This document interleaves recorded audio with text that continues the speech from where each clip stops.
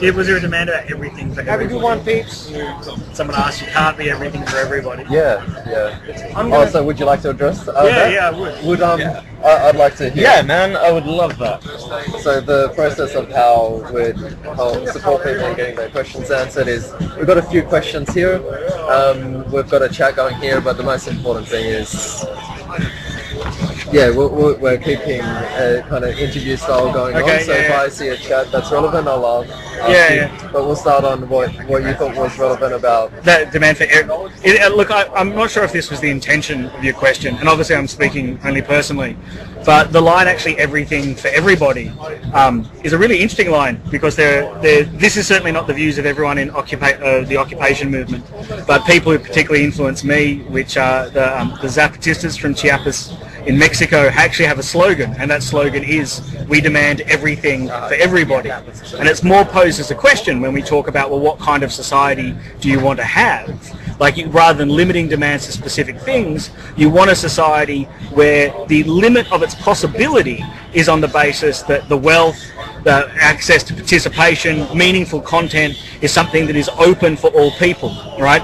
And therefore, things that are that's an inherently egalitarian idea, which means um, rather than saying, okay, we want X amount of money for this, we want increasing for wages, we want a society that ends with this kind of ism, it sets a kind of fundamental norm. Now it's not going to be achievable. We're not going to be able to have, you know, flying helicopters for everyone, but it suggests a kind of basic idea for society that what you aim for is that the things that allow us to realize ourselves as human beings are open to all.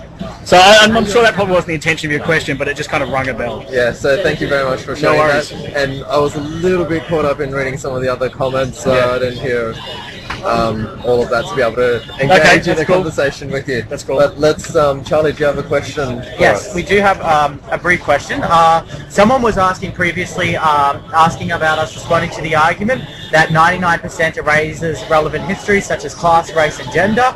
And the argument is something like histories come from specific um, locations, economic and racial content, etc. Um, they also were a little bit upset that we didn't answer their question, or that I didn't answer the question. The Reason I didn't do that is I didn't want to make my gender and sexuality a particular I, I issue. feel quite comfortable talking about that. I Yeah. and, and, like personally, I think I agree with that premise of the question. That there's not a kind of undifferentiated 99%, but the vast majority of people are, we kind of cleaved in really important ways along questions of class, of race and gender. So actually to become a 99% means we need to actually engage with those separate histories. And I actually think this is what's happening around the world. That when you posit the idea that we're the majority, what you've actually got to um, then do next is go, well, what are the internal divisions? And so that's been raised already by some people in the occupation. We're saying, well, look, is the space particularly kind of male dominated? What are the gender dynamics that are going on? Do we need to bring that up in the process to question? So I actually agree with that. It's a problem that any mass movement has to deal with, that there's not just some opposition out there, but these lines of division are actually internal to the majority too. So completely agree. So I'm looking at a scale of equality that is uh, going from as small as it could be to as large as it could be. I'll just see if there are any comments re- Yeah, relating sure. to what um, uh, just uh, so, uh, And I understand I'm speaking in really general terms at the moment. So like, if people are dissatisfied with that, I get it. Uh, do you ha- uh, have you been watching the feed or reading the questions? Because Reading questions and watching. Okay, so then next question. Next question. Um, people are. What is your view on people like Bill Gates and Warren Buffett who are trying to get billionaires to donate their money e- either now or at their death towards philanthropy projects that will help millions or billions of people? What can the movement do to encourage that? Oh, for me. Either of you. um, Uh, look, personally, I'm really critical of. yeah, so for me, Can't they do it while they're alive? yeah. Well, well, be when they wait till they Yeah, The- for, for, no, look, for me, it's like, okay, first of all, like, people want to de- donate, that's fantastic, right? That's excellent. Uh, what I'm critical of is that there's a history from the Medici's on where donation, that what this never kind of addresses is the actual systematic inequalities that has meant that they've generated this wealth in the first part. like the potential lack of That sounds a bit. Well, Isn't that right? Yeah, it, but it's it actually what it says. Okay, there's not a deep structural inequality in society. What we just need is people at the top to be kinder. What it doesn't address is why we. What is the actual real histories, the real complicated histories that have created a globe of such inequity? Yeah. Uh, you know, and so We wouldn't have to have them at the top Yeah. donating if everyone was equal and Well, had all the resources. that doesn't mean that I think they're bad people or I don't want them to donate. But I think in some ways it kind of mystifies the issue of what's really important. Now, again, I'm just speaking from my own um, personal opinion, is that um, my own personal opinion. There's a really great video by Slavoj Žižek, who some people might have noticed because he was on Q and A recently, who says that actually, kind of capitalism at this moment always pretends it's doing charity. You know, you can't go to Starbucks anymore without being told that what you're actually doing is saving an African child by buying this coffee, right? But that actually hides the actual processes of what's actually creating these forms of structural poverty. All right, so there's a comment by Kat, Yep. which is I don't understand. All these people build up the wealth from virtually nothing and worked hard to get there. Yeah, well, look, a lot of people, well, a lot of people work really hard to get lots of places, but you know, Bill Gates and Warren Buffett don't have such a disproportionate wealth from ordinary people because they worked X amount of times more than the people that they have a great more wealth than. There's actually structural reasons that led to that. Now, um, also in the term of Bill Gates, well, I don't know the story particularly. There's a really great um, political economist called Doug Henwood who does a newsletter called uh, Left Business Observer, also a radio show um, called Behind the News, and he makes an argument. And I'm sorry I don't have the specific details about this. That actually a lot of those original operating systems that um, Bill Gates has made so much um, money out of developed out of pretty much university projects uh, that were going on at different kind of research institutions at universities at the time. What he's really good about, you know, what Bill Gates does really well is impose property rights on collective processes of creation. Now that's the Microsoft model, isn't it?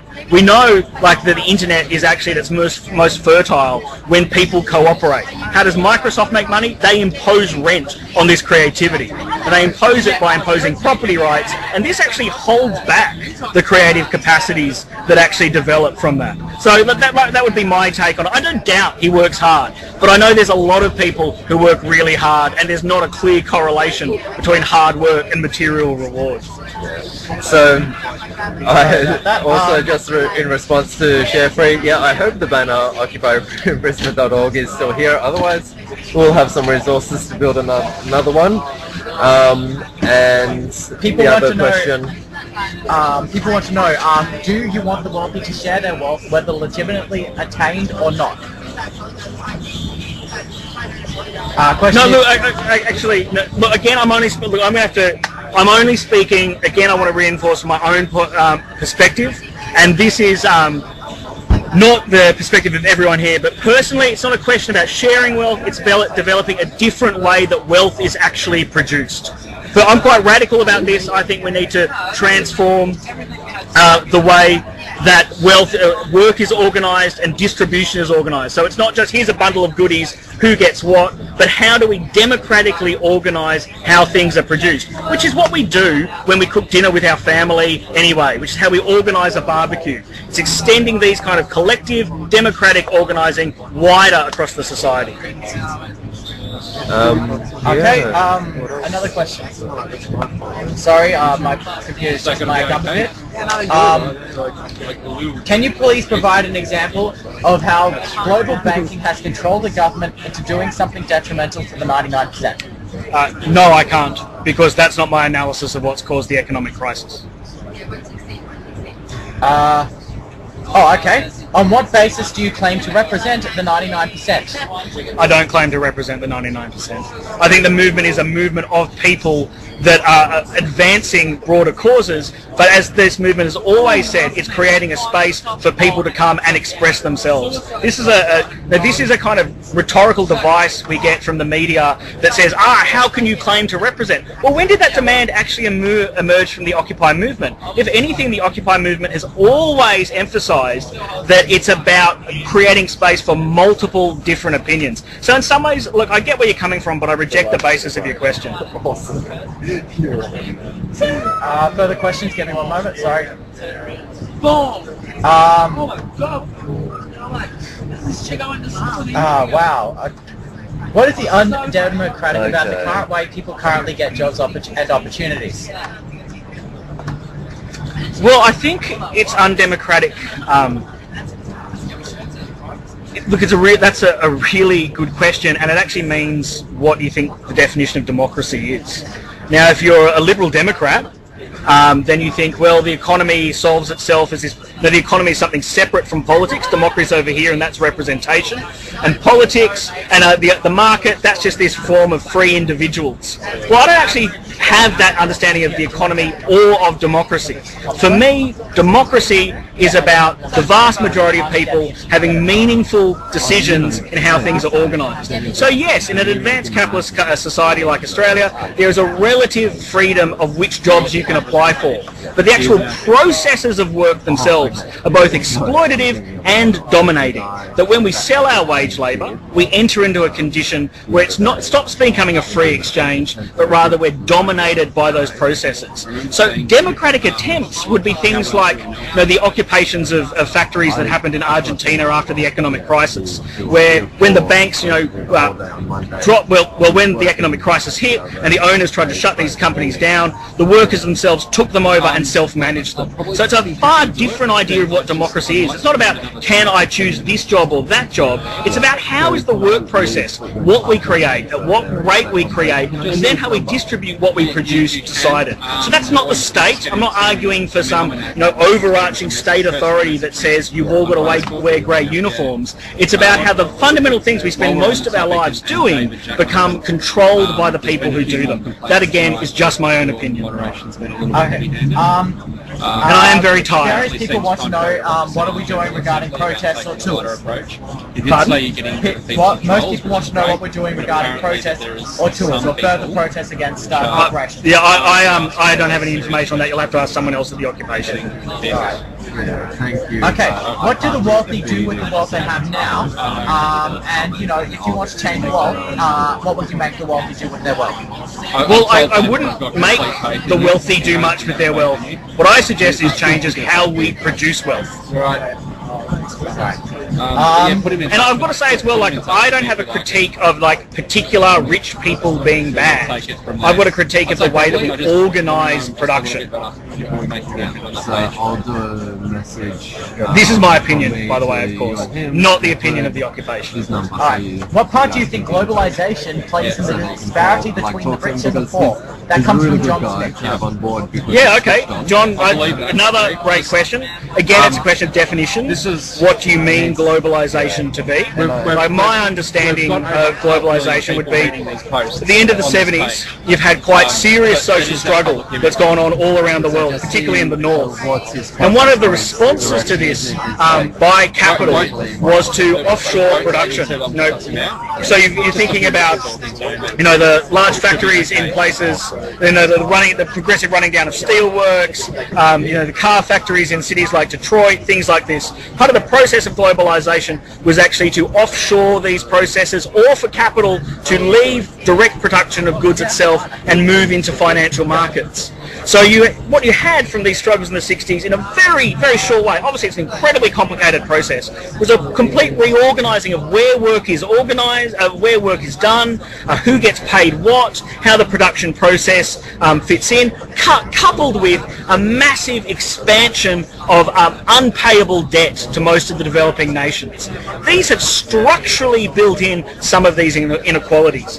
Important to that too is this thing called the Washington Consensus. And now very shortly, the Washington Consensus was basically for these developing countries to receive loans had to accept a mode of governance, what you might call neoliberalism, what you might call you know, neoclassical economic thought, which meant these states were prevented from investing in things such as welfare and education, forcibly had to privatize um, sources they were generating wealth from. So very much this complicated process we call globalization uh, is deeply tied into the real inequalities, but it's also deeply tied into what's caused the crisis. Because what this has led to is a collapse of what you might want to call effective demand, which is how much money people have to actually realise the goods that they can purchase. As more and more work moved overseas and jobs stagnated, Australia is an exception, but throughout the north, I mean wages stagnated. Effective demand was stimulated largely by a massive expansion of credit. Now it's that apparatus that has exploded in the last four years. So one of the real problems for the global economy is who's going to buy all this stuff that's made. Now this speaks to us in Australia, and again, it's my own opinion. I'm moving really quickly. Australia is in a long, long mining boom. Why are we in a mining boom? Because we dig stuff out of the ground and we sell it to China, and China sells stuff and they sell it to the US. We, we, and with the collapse of effective demand, what are the, the people in China? Who are they going to sell these products to? And so this is actually leading to the economic crisis. I've got to get out of the hot seat. Other people have to have a talk. Yep. Um, lovely talking to you. Uh, hope that helped answer some questions.